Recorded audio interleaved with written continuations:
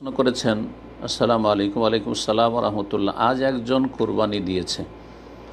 অনেক আগের প্রশ্ন, কোরবানির সময়ের প্রশ্ন, অনেক প্রশ্ন এসে জমা আছে ভাইদের কাছে আর সিরিয়ালি দিতে থাকে প্রতি সপ্তাহে বৃষ্টি।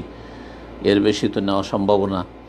তো বলছেন যে একজন কোরবানি করেছে এবং এর গোস্ত দিয়ে তার মেয়ের বিয়েতে খাওয়াচ্ছে, এটা কি ঠিক? হ্যাঁ অবশ্যই ঠিক। জি। কোরবানি করবে আল্লাহর সন্তুষ্টির জন্য। এটির সম্পর্ক নিয়তের সাথে। তারপরে গোস্ত উত্তম হচ্ছে, ফরজ নয়, উত্তম হচ্ছে যে নিজেরাও খাবে।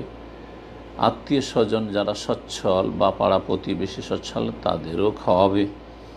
আর যারা সমাজের গরিব, দুঃখী, তাদেরকেও খাওয়াবে। কিন্তু কেউ যদি নিজেই মুখাপেক্ষী হয়, নিজেই অভাবী হয়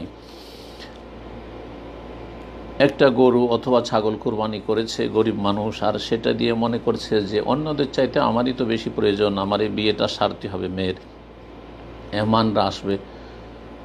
এই বিয়ে যদি সেরে নেয়, কোনো দোষের কথা নয়। আবার বলছি, তিন ভাগ সমান করতে হবে, এর কোনো দলিল নেই।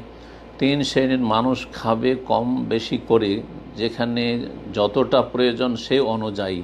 যদি নিজেরই প্রয়োজন বেশি থাকে, নিজে বেশি রাখবে। যদি দেখা যায় ফকির মিসকিনের প্রয়োজন বেশি, তাদের সংখ্যা বেশি, তাহলে তাদেরকে বেশিটা দিয়ে দেবে।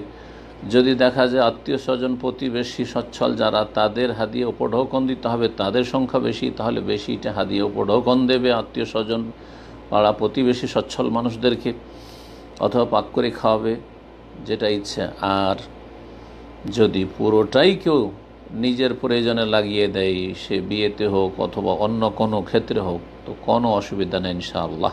জি।